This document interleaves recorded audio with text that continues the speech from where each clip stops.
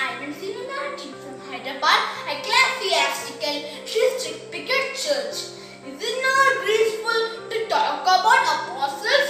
Today I'm going to talk about the chief of the apostles, Saint Peter. Saint Peter, also known as Simon, was the first bishop of Rome. He was born in Bethsaida under Rome Empire.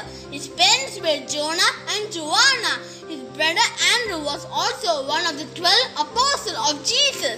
Do you know how Simon became Jesus' disciple and how he got the name as Peter? Simon was the first disciple whom Jesus had chosen during his ministry at the Sea of Galilee along with Saint Andrew. Jesus told them, Follow me and I will make you fish for the people. We document the miracle of Jesus visiting Simon's house and curing his mother-in-law. Peter's declaration about Jesus that he is Messiah. Jesus told Peter, and I tell you, you are Peter. On this rock I will build my church.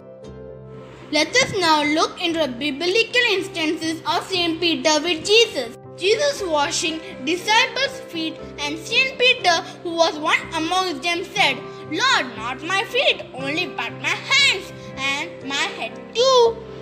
Jesus foretells Peter's denial that, Very truly I tell you, before the cock crows three times, you will deny me. Saint Peter witnessed the transfiguration of Jesus, wherein Moses and Elijah appears along with Jesus. Saint Peter also accompanies Jesus along with James and John to Garden of Gethsemane. Saint Peter's presence during Jesus' arrest and cutting of the right ear of the slave Malchus. Saint Peter witnessed the resurrection of our Lord Jesus Christ.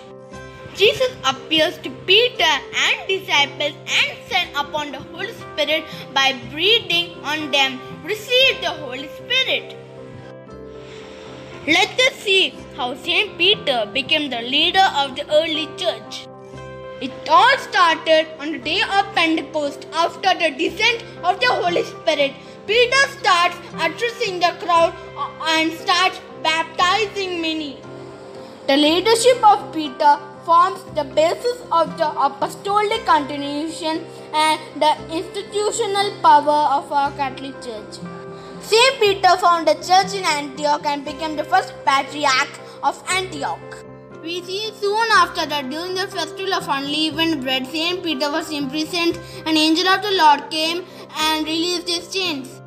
So Peter is the final word with regard to the problems of the church. And obedience to Saint Peter is a must. Thus, today we see Catholic Church growing rapidly with around 23 rites. Let us look at the kind of death Saint Peter had. In the Gospel of John, Jesus hints at his death by which Peter would glorify God. This is interpreted by her as a reference to Peter's crucifixion. In accordance with the Acts of Peter, he was crucified head down during the Emperor Nero. Tradition states at the burial place, Basilica of Saint Peter was later built.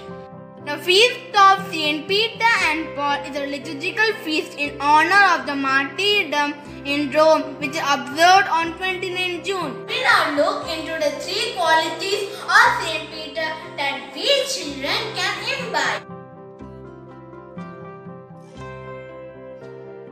First one, love and hope. We read a book of 1 Peter 3.15. Always be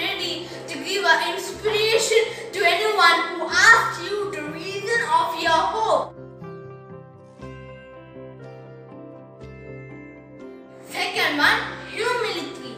Humility kept St. Peter closer to God. He moved rashly but humbly.